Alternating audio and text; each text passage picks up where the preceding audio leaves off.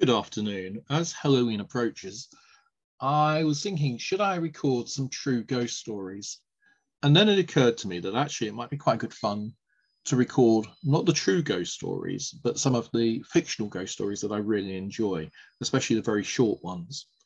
And so today I'm going to record one of my all time favorites, which is The Open Window by Saki, H.H. H. Munro. It was written in the Edwardian period and I think you'll enjoy it. So it's one of the, I think, one of the greatest ghost stories in the English language, and it's mercifully very short, just a couple of pages. So without further ado, Saki, the open window. My aunt will be down presently, Mr. Nuttel, said a very self possessed young lady of 15. In the meantime, you must try and put up with me. Framton Nuttel endeavoured to say the correct thing, which should duly flatter the niece of the moment without unduly discounting the aunt that was to come. Privately, he doubted more than ever whether these formal visits on a succession of total strangers would do much towards helping the nerve cure which he was supposed to be undergoing. I know how it will be, his sister had said when she was preparing to migrate to this rural retreat. You'll bury yourself down there and not speak to a single soul, and your nerves will be the worse than ever from moping. I shall just give you letters of introduction to all the people I know there. Some of them, as far as I can remember, were quite nice. Framton wondered whether Mrs. Sappleton, the lady to whom he was presenting one of the letters of introduction, came into the nice division. Do you know many people round here? asked the niece, when she judged they'd had sufficient silent communion. Hardly a soul, said Framton. My sister stayed here at the rectory, you know, some four years ago, and she gave me letters of introduction to some of the people here. He made the last statement in a tone of distinct regret. Then you'll know practically nothing about my aunt, pursued the self possessed young lady. Only her name and address, admitted the caller. He was wondering whether Mrs. Sappleton was in the married or widowed state. An undefinable something about the room seemed to suggest masculine habitation. Her great tragedy occurred just three years ago, said the child. That will be since your sister's time. Her tragedy? asked Framton. Somehow, in this restful country spot, tragedy seemed out of place. You may wonder why we keep that window wide open on an October afternoon, said the niece, indicating a large French window that opened onto a lawn. It's quite warm for the time of year, said Framton, but has the window got anything to do with the tragedy? Out through that window, three years ago to a day, her husband and her two young brothers went off for their day's shooting. They never came back. In crossing the moor to their favourite snipe shooting ground, they were all three engulfed in a treacherous piece of bog. It had been a dreadful wet summer, you know, and places that were safe in other years gave way suddenly without warning. Their bodies were never recovered. That was the dreadful part of it. The child's voice suddenly lost its self possessed note and became falteringly human. Poor Auntie always thinks they'll come back some day. They and the little brown spaniel that was lost with them, and walk in that window just as they used to. That's why the window's kept open every evening till it's quite dusk. Poor dear aunt. She's often told me how they went out.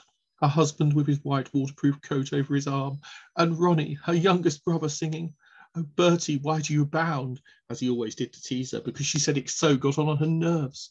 Do you know, sometimes on still, quiet evenings like this, I almost get a creepy feeling that they'll walk in through that window. She broke off with a little shudder.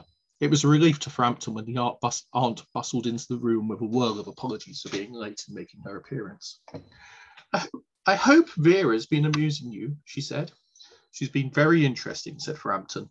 I hope you don't mind the open window, said Mrs. Sappleton briskly. My husband and brothers will be home directly from shooting, and they always come in this way. They've been out for snipe in the marshes today, so they'll make a fine mess over my poor carpets. So like you menfolk, isn't it?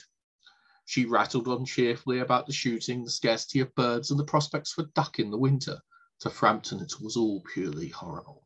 He made a desperate but only partially successful effort to turn the talk onto a less ghastly topic, but he was conscious that his hostess was giving him only a fragment of her attention, and her eyes were constantly straying past him to the open window in the lawn beyond. It was certainly an unfortunate coincidence he should have paid his visit on this tragic anniversary. The doctors agree in ordering me complete rest, an absence of mental excitement, and a Uh, avoidance of anything in the nature of violent physical exercise, announced Framton, who laboured under the tolerably widespread delusion that total strangers and chance acquaintances are hungry for the least detail of one's ailments and infirmities, their cause and cure. On the matter of the, the diet, they're not so much in agreement, he continued. No, said Mrs. Sappleton in a voice which only replaced a yawn at the last moment. Then she suddenly brightened into alert attention, but not to what Framton was saying. Here they are at last, she cried, just in time for tea. And don't they look as if they're muddy up to their eyes? Framton shivered slightly and turned towards the niece with a look intended to convey sympathetic comprehension. The child was staring out through the open window with a dazed horror in her eyes. In a chill shock of nameless fear, Framton swung round in his seat and looked in the same direction. In the deepening twilight, three figures were walking across the lawn towards the window. They all carried guns under their arms, and one of them was additionally burdened with a white coat hung over the shoulders. A tired brown spaniel kept close at their heels. Noiselessly, they neared the house, and then a hoarse young voice chanted out of the dusk, I said, Bertie, why do you bound?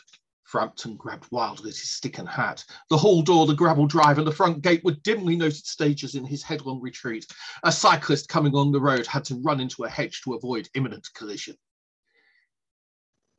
Here we are, my dear, said the bearer of the white Mackintosh coming in through the window. Fairly muddy, but most of it's dry. Who was that who bolted out as we came up?